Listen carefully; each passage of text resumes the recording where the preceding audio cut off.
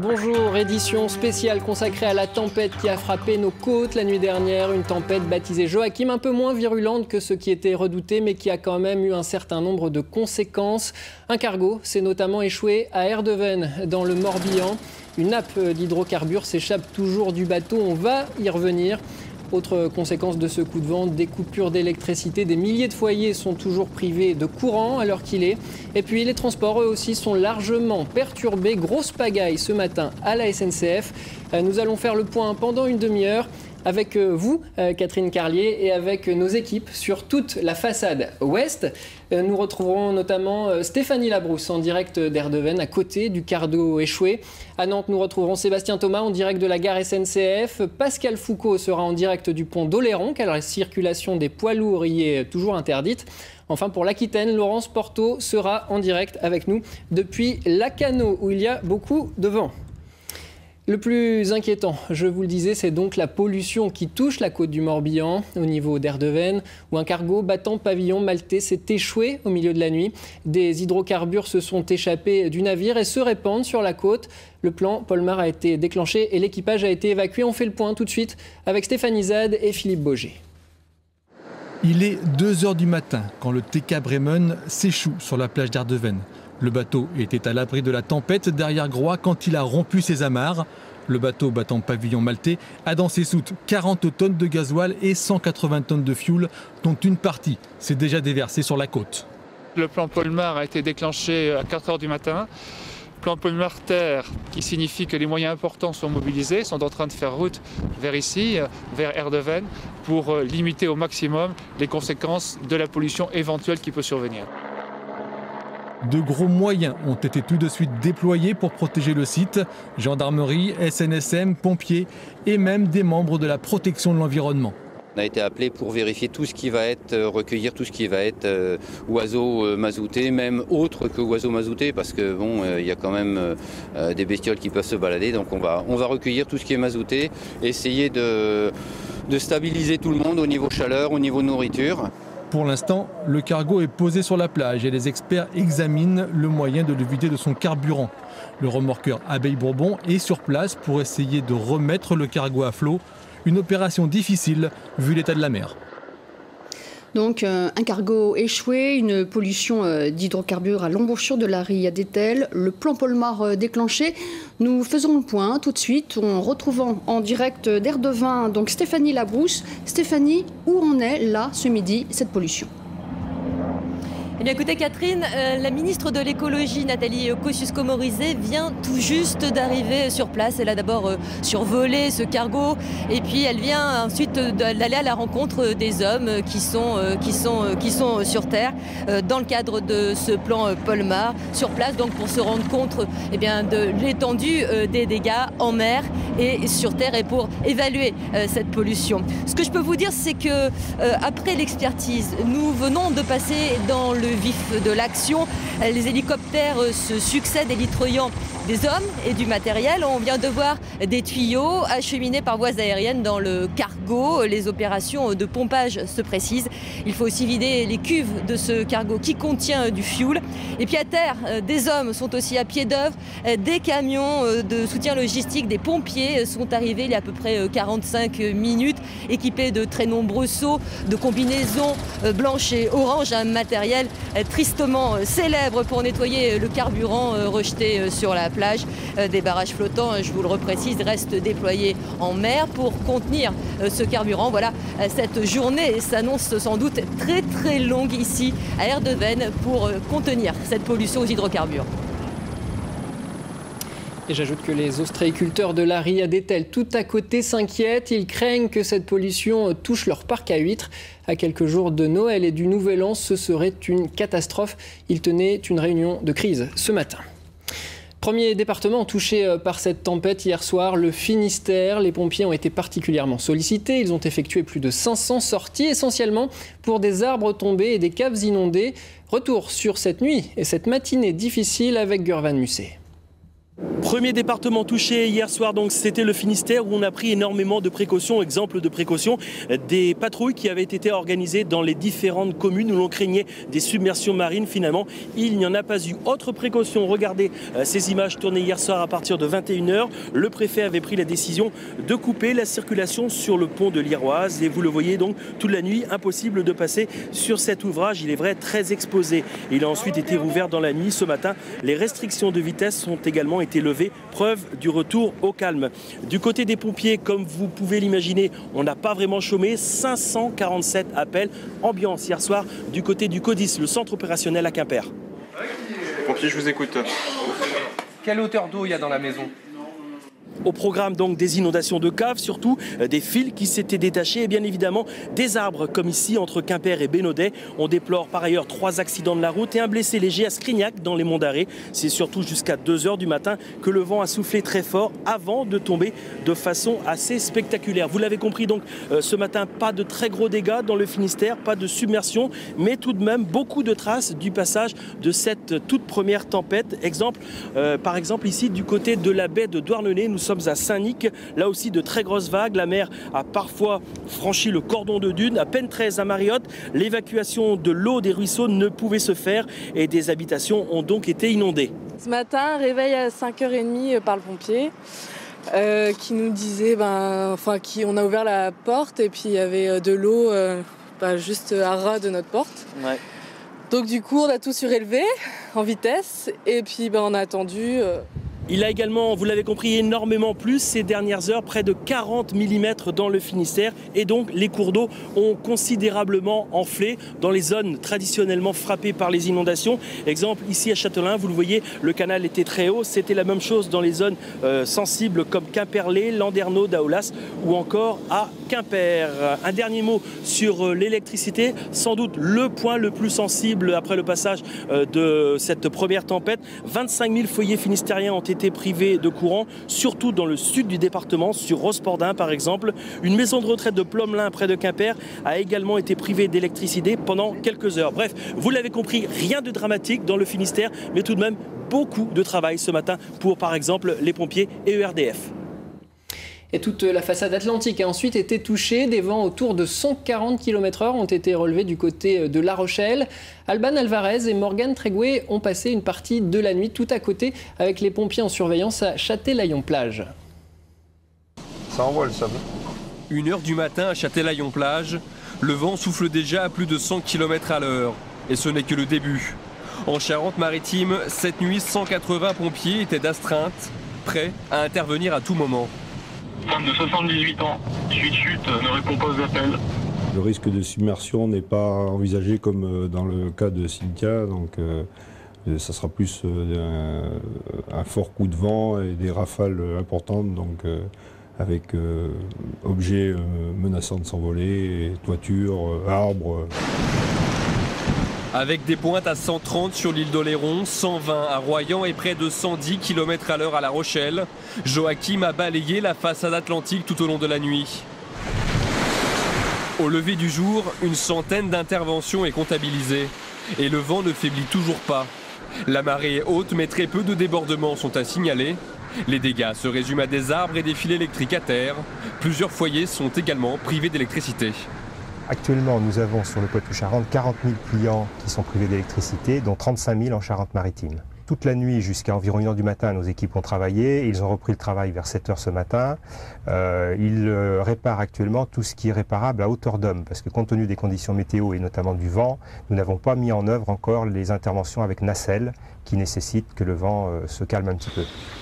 L'alerte au vent violent devrait être levée à 14h. Joachim poursuivra ensuite sa route plus à l'est. Des rafales de 80 à 90 km à l'heure sont tout de même attendues dans l'après-midi.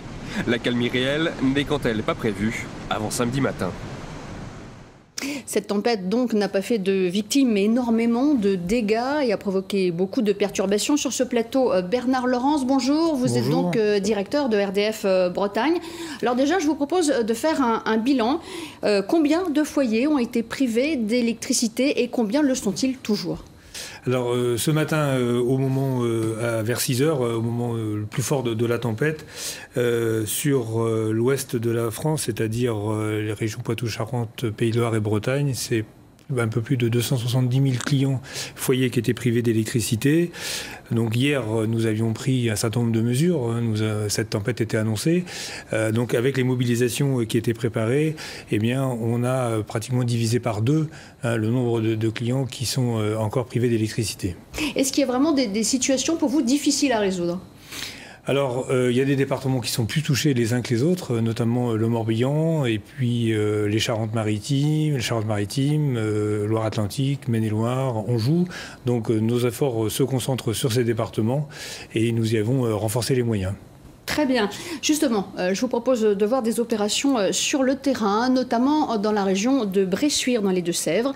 Là, les vents ont atteint plus de 100 km/h dans les terres. 8000 foyers ont été privés d'électricité dans des secteurs ruraux parfois difficiles d'accès. Le point avec euh, Tanguy Squazek et Philippe Ritten. 8500 foyers privés d'électricité au plus fort de la tempête dans les Deux-Sèvres. Dès la première heure, toutes les équipes du fournisseur d'électricité étaient évidemment sur le terrain. Et le terrain, justement, en milieu rural, n'est jamais très favorable. Sur cette ligne de moyenne tension, c'est d'une simple branche qui a causé le court-circuit, privant près de 1300 clients de courant. Mais avant de la localiser, il a fallu parcourir tout le tronçon de ligne à pied. Sans compter que la tempête ce matin n'était pas tout à fait passée. Le problème là, on a quand même pas mal de vent, donc l'accès nacelle, donc c'est impossible. L'accès dans les champs avec des véhicules, c'est quasiment impossible parce qu'il a mouillé, donc c'est très détrempé, donc euh, inaccessible. Donc reste échelle, moyen humain terrestre, et donc euh, voilà, donc ça nous prend beaucoup plus de temps, d'hommes, euh, donc tout ça décale dans le temps avec une prévision de remettre quand même tout le monde en fin d'après-midi. Vers 11h, il restait encore 6000 foyers à rétablir. C'est d'ailleurs le principal problème causé par cette tempête. Pour le reste, les dégâts sont apparemment assez mineurs. En fin de matinée, les services de secours comptabilisaient environ 160 interventions, alors que les services départementaux des routes, de leur côté, en comptaient une soixantaine. Euh, des chiffres finalement assez normaux pour une tempête hivernale. Mais l'attention se porte désormais euh, sur l'eau, avec un certain nombre de débordements de rivières, des chaussées euh, coupées comme ici, et bien sûr des caves inondées. Nous prenons donc cette interview avec vous, Bernard Laurence, donc de RDF. On voit sur le terrain, c'est vraiment une situation de crise. Alors, est-ce que vous avez mis en place une organisation de crise? Oui. Alors, vous l'avez dit, la situation, elle est exceptionnelle de par la nature des vents et leur localisation. Euh, donc, nous avions connaissance de l'alerte météo. Donc, nous sommes préparés hier avec une prémobilisation. C'est-à-dire que dès ce, matin, euh, que ce soit sur Pays-Loire, sur Poitou-Charentes ou sur Bretagne, euh, les renforts avaient été doublés et nous avions fait aussi appel à des entreprises prestataires avec lesquelles nous travaillons habituellement. C'est-à-dire que dès ce matin, c'est plus de 2000 personnes qui étaient mobilisées et qui étaient prêtes à intervenir. Euh, la nature euh, de, la crise est telle que nous, avons, nous allons renforcer ces moyens, et notamment euh, venant de Sud-Ouest et de Normandie, c'est encore plus de 300 personnes qui devraient arriver aujourd'hui, aujourd'hui ou au plus tard demain matin. Vous imaginez un, camp, un retour à la normale? Alors, euh, à ces moyens humains, il y a des moyens matériels, des hélicoptères, des groupes électrogènes pour réalimenter les situations les plus sensibles.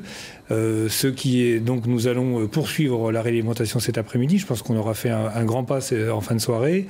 Et néanmoins, euh, il nous restera du travail à faire pour ce week-end. Donc, on va dire quoi? Dimanche soir, lundi matin? Donc on, va, on va vraiment se mobiliser. Notre objectif, on ne pense qu'à ça, euh, c'est réalimenter euh, nos clients euh, ce week-end. Et RDF est complètement mobilisé sur cet objectif. Bernard Laurent, je vous remercie.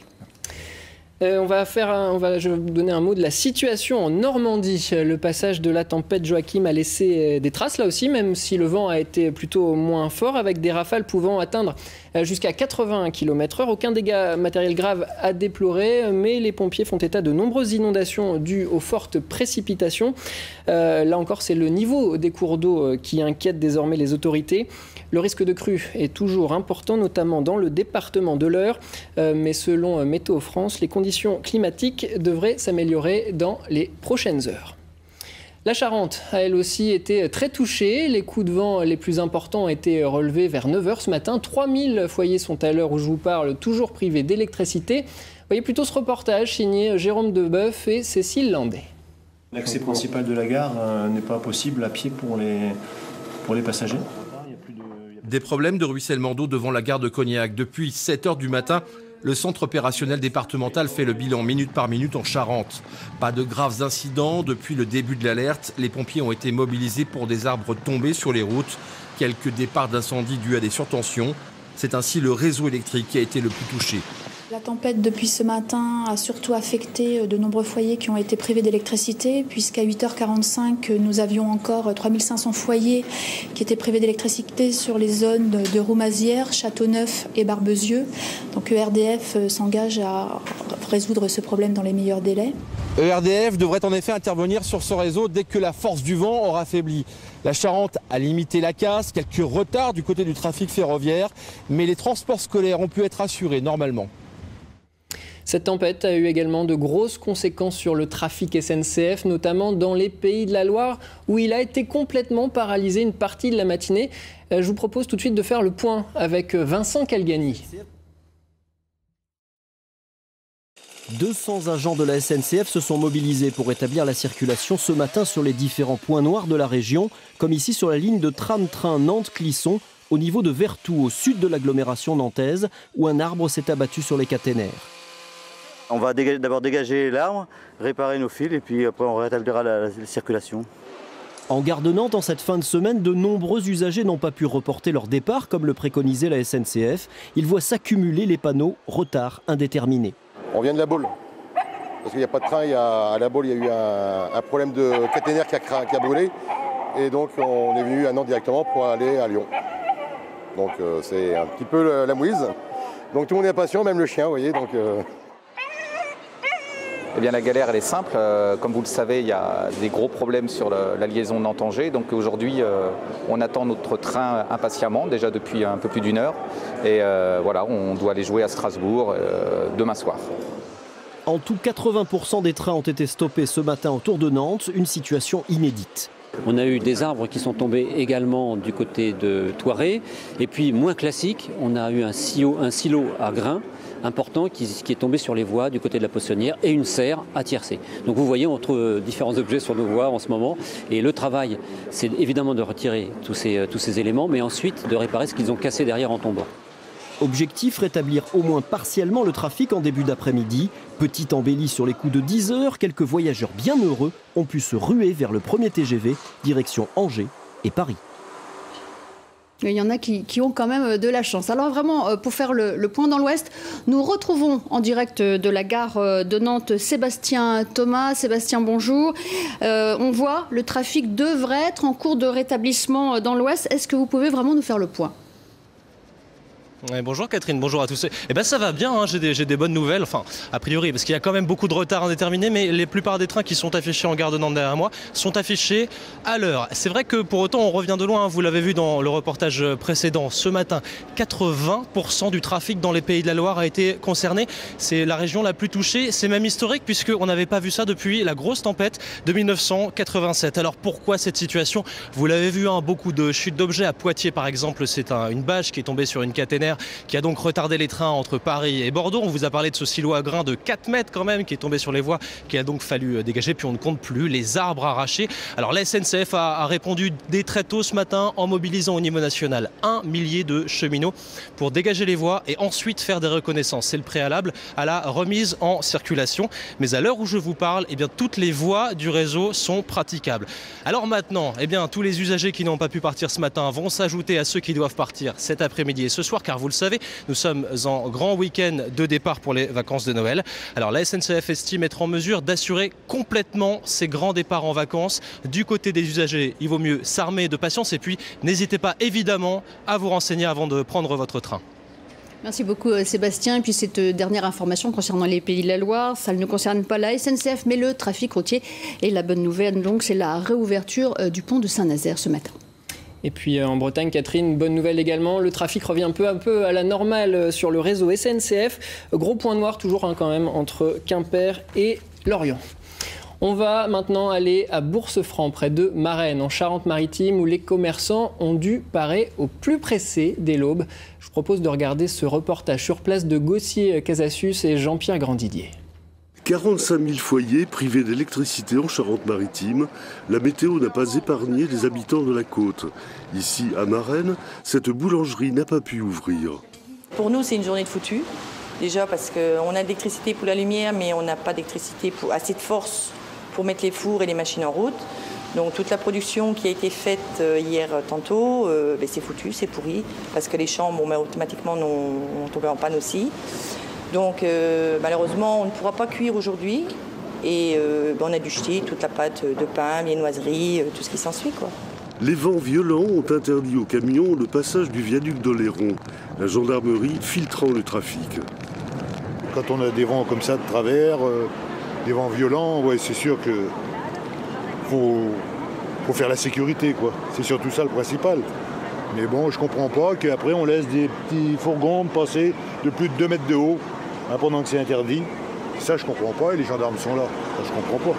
L'île n'aura pas été isolée du continent, mais la plus grande prudence reste de mise, au moins jusqu'à ce soir, avec les rafales de vent qui atteignent dans les 100 km/h euh, rester en Charente-Maritime, faire le point avec euh, Pascal Foucault, qui est basé au Pont d'Oléron, car la circulation a été fermée euh, aux poids lourds hier soir. Pascal, bonjour. Alors, est-ce que le trafic des poids lourds est toujours paralysé dans le département? Eh bien, quelle est la situation, Pascal? Oui, bonjour euh, Catherine. Eh bien écoutez, euh, l'ouverture euh, aux poids lourds a, été autorisée tout à l'heure par les services des équipements du Conseil général de Charente-Maritime. Donc depuis une heure, grosso modo, maintenant, les camions peuvent de nouveau circuler sur le pont. C'était la seule restriction à, la circulation sur les ponts du département, puisque le pont de l'île de Ré, lui, a, pu rester ouvert et les voitures et les camions pouvaient y circuler tout à fait normalement. Seuls les piétons et les deux roues, bien évidemment, sont, sont interdits Alors, la situation ici en Charente-Maritime, ça a été au maximum de la nuit, des pointes de vent à 130 km/h, juste derrière moi, au niveau de la pointe du Chassiron, tout au bout de l'île d'Oléron. 108 km/h enregistrés à La Rochelle. Et au finish, une centaine d'interventions seulement pour les pompiers, essentiellement pour des arbres tombés sur euh, la route ou des câbles électriques qui, euh, qui s'étaient déconnectés. C'est d'ailleurs euh, au moment où nous nous parlons le problème essentiel qui se pose en Charente-Maritime. 45 000 foyers ont été privés d'électricité au plus fort de la nuit. 10 000 ont pu être reconnectés assez rapidement grâce aux installations de RDF. Il en reste tout de même en ce moment près de 35 000 qui n'ont toujours pas de courant.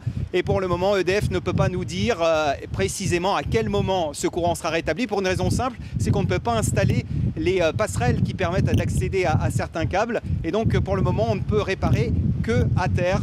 Euh, voilà pour le moment. Donc à l'heure où nous nous parlons, 35 000 foyers toujours privés d'électricité en Charente-Maritime. Et on voit que ça souffle encore très fort. Merci beaucoup Pascal Foucault pour toutes ces précisions. Et puis en Vendée, de bien mauvais souvenirs ont été réveillés ce matin. La zone dunaire de Saint-Hilaire de Riez a été évacuée. Boris Bioche, Damien Ravelot. 3 heures du matin au centre de commandement des sapeurs-pompiers de Saint-Gilles-Croix-de-Vie, tout le monde est en alerte. Un point noir en Vendée, une dune qui risque de s'effondrer et de provoquer une inondation. On a euh, sur la commune de Saint-Hilaire-de-Riez, au lieu d'Ilapège, on a une fragilité du cordon dunaire sur 150 mètres à 200 mètres environ. Les cibles actuelles qui ont été définies, ce sont dans un premier temps une quinzaine d'habitations situées à proximité et à l'intérieur des deux terrains de camping. Donc dans un premier temps, on recense, on identifie s'il y a du monde et on évacue. La décision vient de la cellule de crise de la préfecture de Vendée. Ordre est donné d'évacuer toutes les habitations de la zone et les campings. Les consignes, elles sont claires, c'est évacuation pour les habitations de plein pied et c'est confinement éventuel pour les habitations avec un étage. Bonjour monsieur, n'ayez pas peur, c'est la gendarmerie. Bon, on a des risques importants d'infiltration d'eau on a pour mission de vous prévenir et de vous conseiller de venir euh, sur un point de repli. Vous serez en sécurité. 6 heures du matin, la tempête gronde, les vents frôlent les 110 km/h sur tout le littoral. Les premiers évacués sont accueillis dans une zone sécurisée de la commune. Qu'est-ce qu'on vous a dit? Euh, Que la mer montait et qu'il fallait évacuer, tout simplement. Donc voilà. On est ici, on espère finir notre nuit. Là, je crois que c'est une des premières fois qu'on voit un vent comme ça. Même quand il y a eu Sanctuaire, on n'avait pas ce vent-là. 60 personnes seront hébergées pour la nuit. Le cordon dunaire, lui, n'aura pas rompu avec la marée haute. Plus de peur que de mal. pour les sapeurs-pompiers de Saint-Gilles-Croix-de-Vie.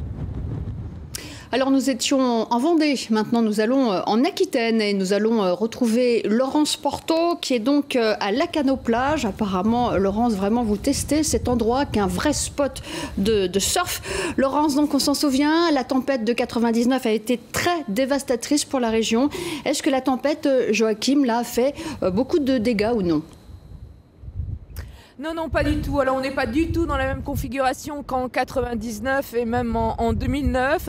Ici, on, connaît euh, depuis cette nuit ce qu'on appelle un gros coup de vent avec des conséquences relatives à, ce coup de vent. Euh, à savoir, eh bien, des coupures d'électricité, bien sûr. 5000 en Gironde, l'électricité euh, qui a été rétablie au fur et à mesure dans la matinée.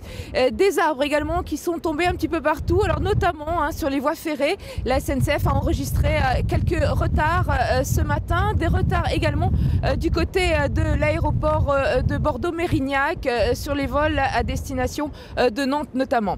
Alors, ce qu'il faut savoir, c'est que également ici en, Gironde, nous avons une centrale, la centrale du Blayet. La centrale a été mise en alerte. Alors, c'est une disposition qui est relativement normale, hein, quand on connaît des conditions météo difficiles comme aujourd'hui.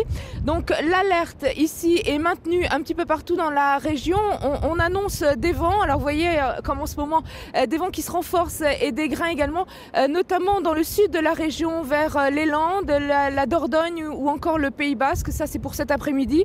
Ce qui est le plus spectaculaire, vous l'apercevez peut-être derrière moi, ce sont les, vagues, hein, des, creux qui peuvent atteindre 8 à 10 mètres. Et puis on a noté aussi de grosses rafales de vent jusqu'à 110, 120 km heure sur la côte aquitaine aujourd'hui. Donc l'alerte est bien sûr maintenue pas question euh, d'aller se promener en forêt, pas question d'aller euh, se balader euh, sur la plage aujourd'hui, pas question non plus d'aller surfer, même si on a rencontré il n'y a pas très longtemps hein, tout à l'heure, eh bien des kitesurfers qui voulaient aller, aller tester un petit peu le vent. Donc des recommandations bien sûr qui sont valables jusqu'à ce soir, voire demain matin. Merci beaucoup Laurence pour toutes ces précisions et on voit vraiment que ça souffle. Et on arrive au terme de cette édition spéciale. Je vous propose de refaire un point sur cette tempête baptisée Joachim qui a balayé nos côtes cette nuit et qui traverse en ce moment même la France. Conséquence majeure, je vous le disais, un cargo s'est échoué sur une plage d'air de Veine et des hydrocarbures sont répandus sur la côte. Retour en image sur ces dernières heures de gros temps avec David Frotté. Joachim n'a pas fait de sentiments avant les fêtes de fin d'année. 133 km/h à Ouessant, 140 à Belle-Île. Premier paquet, ce cargo échoué au milieu de la nuit sur la plage d'Erdevenne dans le Morbihan, tout près de la Ria d'Etel. L'équipage a été évacué, mais le bateau fuit. Plan Polmar déclenché pour limiter la pollution d'hydrocarbures. Autre cadeau laissé par la tempête, c'est 370 000 foyers sans électricité dans le Grand Ouest. Il faudra sans doute plusieurs jours aux équipes de RDF pour tout réparer. Et les températures vont baisser, pas plus de 10 degrés cet après-midi sur la Bretagne. Mauvaise surprise aussi avant les départs en vacances, le chaos dans les transports. Trafic ferroviaire très perturbé en Bretagne ce matin, notamment sur les lignes secondaires. Aucun train, par exemple, entre Quimper et Auray. Pour les avions au départ ou à l'arrivée de Brest et Rennes, les vols annulés hier soir ont engendré des retards qui devraient être rattrapés dans l'après-midi. Sur la liste aussi, les multiples débris sur les routes. Autant dire qu'il va falloir rester très sage au volant, même si le plus dur est passé et que notre région n'est plus en vigilance orange. Donc, on vous le disait, ce cargo échoué, cette pollution d'hydrocarbures. Et nous allons euh, retrouver justement en direct de, euh, Stéphanie Labrousse qui a de nouvelles informations. Stéphanie. Et oui, Catherine, je vous disais euh, au début de cette édition que la ministre de l'écologie, Nathalie Kosciusko-Morizet, euh, venait d'arriver peu avant 13 euh, sur cette plage d'Erdevenne pour se rendre compte de la situation. Elle vient de tenir un point de presse qui vient tout juste de se terminer. Deux éléments à prendre en compte.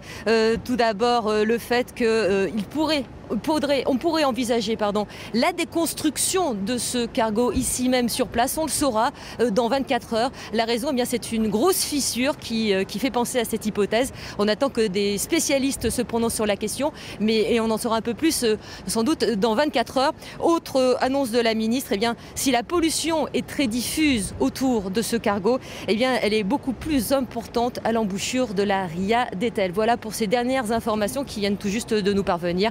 Nathalie Kosciusko-Morizet, la ministre de l'écologie, qui s'exprimait il y a quelques secondes avec nos confrères journalistes. Merci beaucoup euh, Stéphanie pour ces toutes dernières précisions. Et avant de refermer cette édition, on va rejoindre Fabienne Amiac en duplex de Toulouse. Bonjour Fabienne. C'est une très grosse dépression hein, qui, a, qui a traversé la France. Absolument. Déjà, on va revoir un petit peu l'historique de cette dépression qui, depuis la semaine dernière, avait touché les îles britanniques. Elle était très creuse. Elle s'était installée sur l'Écosse, 946 hectopascales, et il y avait un fort euh, flux d'ouest, donc euh, perturbé. Et puis ensuite, la dépression s'est rapprochée de la France. Il est vrai que nous avons eu déjà un épisode mardi, donc prologue de cette dépression qui a touché donc la France euh, cette nuit de jeudi à vendredi. Une dépression très creuse avec déjà des vents à 120 km par donc en rafale. Alors il faut savoir que la situation s'est aggravée donc en début de semaine avec la mise en place d'un système zonal euh, au niveau de la latitude de la France, c'est-à-dire qu'en fait nous avons eu des descentes d'air froid sur l'Atlantique Nord et des remontées d'air chaud subtropical. Très fort contraste de masse d'air, tempête associée donc à cette dépression très creuse. C'est vrai que les vents ont balayé la France, la perturbation qui a touché notre pays était donc très active, très dynamique avec des pluies soutenu à caractère orageux en ciel de traîne cet après-midi. Et nous retrouverons encore des rafales de vent très fortes sur toute la façade atlantique et sur la Bretagne aujourd'hui, entre 100 et 120 km donc par heure. Soyez donc très prudents encore. Le temps se calmera demain samedi et plus encore dimanche. Et nous retrouverons un temps perturbé lundi avec une perturbation traditionnelle d'hiver.